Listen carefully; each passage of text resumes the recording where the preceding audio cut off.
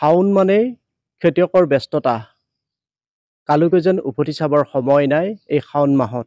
কাৰণ শাওণ মাহত শইচ সোণোৱালী সপোন ৰচাৰ সময় আৰু সেই সপোনৰ বাবে এতিয়া পথাৰত সকলোৱে ব্যস্ত হৈ পৰিছে পৰিয়ালৰ সকলো ব্যস্ত হৈ পৰিছে।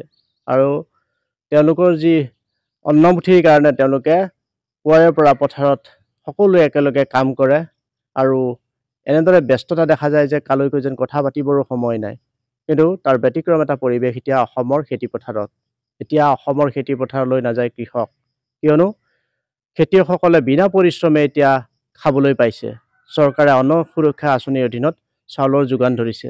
যাৰ বাবে খেতিয়কসকলে পথাৰলৈ নোযোৱা নোযোৱাকৈ তেওঁলোকে অন্নমুঠি যোগাৰ কৰিব পাৰে। আৰু তাৰ বাবে এতিয়া আচলতে ৰাজ্যৰ অৰ্থনীতিৰ ক্ষেত্ৰত এটা বৃহৎ ক্ষতি হৈছে। আৰু পথাৰসমূহ এতিয়া উকা হৈয়ে আছে।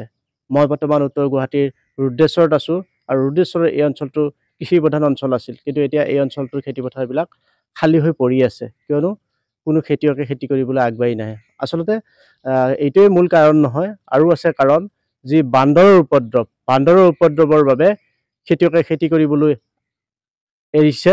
লগতে যি উত্তৰ গুৱাহাটীত পানী ওলাই যোৱাৰ পথসমূহ ৰুদ্ধ হৈ পৰিছে তাৰ বাবে এতিয়া বাৰিষা খৰালি পানী আবদ্ধ হৈ থাকে।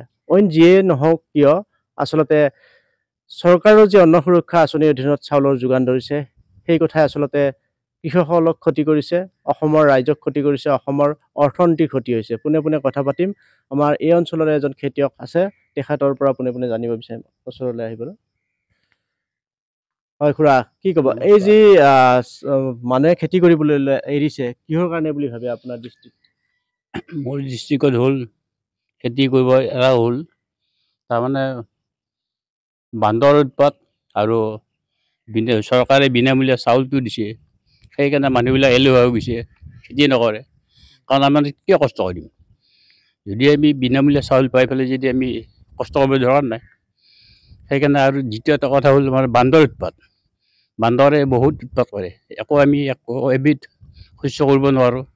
আহি যধে মধে কৰিব কৰি পেলাই উঘলি পেলাব কষ্ট খাবই এই আৰু আৰু উত্তৰ গুৱাহাটী বিশেষকৈ আমাৰ ইয়াতে কোম্পানীবিলাক বহি পানী যোৱা ৰাস্তাবিলাক বন্ধ কৰি দিছে।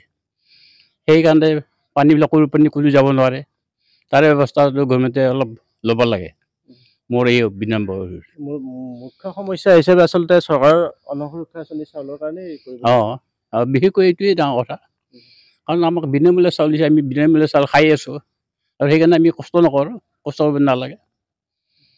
হয় ধন্যবাদ। আচলতে এখেত এজন এই অঞ্চলৰে জ্যেষ্ঠ কৃষক হয় আৰু তেখেতে আচলতে এনেকুৱা সময়ত আচলতে ব্যস্ত হৈ পৰে। তেওঁ পুৱাই ওলাই যায় হাল কোদাল লৈ তাৰপিছত কঠীয়া তুলিবলৈ যায় গৰু ছাগলী আপডাল কৰে। কিন্তু এতিয়া তেখেতে উপলব্ধি কৰিছে যে কি ধৰণে আমাৰ অৰ্থনীতিটো ধ্বংস হৈ গৈছে। আৰু অসমৰ এতিয়া উত্তৰ গুৱাহাটী বুলিয়ে নহয় অসমৰ প্ৰতিখন পথাৰ এতিয়া খেতিৰ পৰিৱৰ্তে আহ, অপতৃণ হৈছে। আৰু উচ- উচন হৈ পৰি আছে কোনো ধৰণৰ শস্য নাই। আৰু এই কথাই আচলতে জাতিটোক ভাবিবৰ বাবে বাধ্য কৰাইছে জাতিটো পুনৰ চিন্তা কৰিব লাগিব যাতে আমাৰ যি এই খেতি নষ্ট হৈ গৈছে খেতি যে নোহোৱা হৈছে যাৰ বাবে অৰ্থনীতিত আঘাত হানিব আৰু আমি যদি যিকোনো উন্নত দেশৰ কথাও চাওঁ তেতিয়াহ'লে কৃষি অবিহনে উন্নয়ন সম্ভৱ নহয়। কৃষিয়ে মূল উন্নয়নৰ কাৰণ আৰু এতিয়া সকলো সামগ্ৰী এতিয়া বাহিৰৰ পৰা আনিবলগীয়া হৈছে ৰাজ্যৰ বাহিৰৰ পৰা আনিবলগীয়া হৈছে যাৰ বাবে এতিয়া আকাশলংঘী হৈ পৰিছে খাদ্য সামগ্ৰীৰ দাম। আৰু কি ক'ব এই ক্ষেত্ৰত আপোনালোকে যি খাদ্য সামগ্ৰীৰ দাম বাঢ়িছে পাচলি শাক পাচলি এই এইটোৱে নহয় জানো? মানুহে যিহেতু অঁ। খেতি খেতি নকৰাৰ কাৰণে বস্তুৰ মূল্যৰ দাম বাঢ়ি গৈছে। কোনো একো নকৰে। আৰু ক'লেও সেই বান্দৰৰ কাৰণে কৰিব নোৱাৰে। কোনোফালে এতিয়া বৃহৎ খাব লাগে আমি তিনি সাঁজ খাবলৈ দুসাঁজ কিবা কিবি মোটামুটি ভাতকেইটা খাওঁ আৰু। বান্দৰে বহুত ক্ষতি কৰিছে। বহুত খেতি কৰে বান্দৰে। একো এবিধ আমি কৰি খাব নোৱাৰোঁ। আগতেতো আপোনালোকে নিজৰ বাৰীতে শস্য শাক পাচলি অঁ আমি পাচলি আমি নিকিনিছিলোঁ আমাৰ ঘৰৰে পাচলি আৰু আমি নিজে কৰোঁ। কি বঢ়িয়া পাচলি হয়। সেইকাৰণে মানুহৰ বেমাৰ আজাৰো নহয় নহৈছিল। এতিয়া কিন্তু সেই আপোনাৰ এইবিলাক সাৰুৱা পাচলিহে আপোনাৰ মানুহবিলাক বেমাৰ হৈ গৈছে। সুন্দৰ কথা কৈছে এখেতে।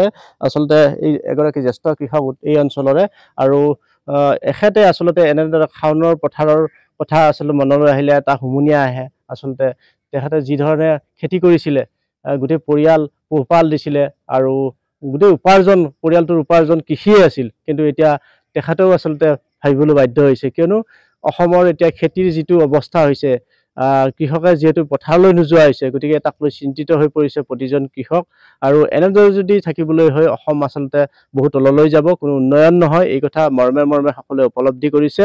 আৰু এই কথাবিলাক যিবিলাক কেৰুণ আছে অসমৰ অৰ্থনীতিত ব্যাঘাত জন্মোৱা সেইসমূহ আঁতৰাবলৈ চৰকাৰে সময়োচিত পদক্ষেপ ল'ব বুলি সকলোৱে এতিয়া আশা প্ৰকাশ কৰিছে।